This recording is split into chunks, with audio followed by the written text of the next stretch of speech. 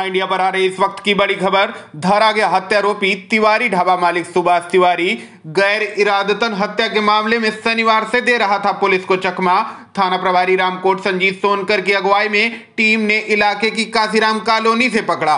की गई जेल भेजने की कार्रवाई, गिरफ्तारी टीम में थाना प्रभारी के साथ चौकी इंचार्ज उमेश चंद चौरसिया, कांस्टेबल शुभम तिवारी, अनूप कुमार, आशीष कुमार व राम लोटन शामिल। आपको बता दें, बीते शनिवार को एन ट्वेंटी पर हैप्पी होम सोसाइटी के निकट दो ढाबा मालिकों में जमकर चले थे लाठी डंडे इस दौरान इलाके के गाँव अहाता कप्तान निवासी धीरज सिंह की हो गई थी मौत।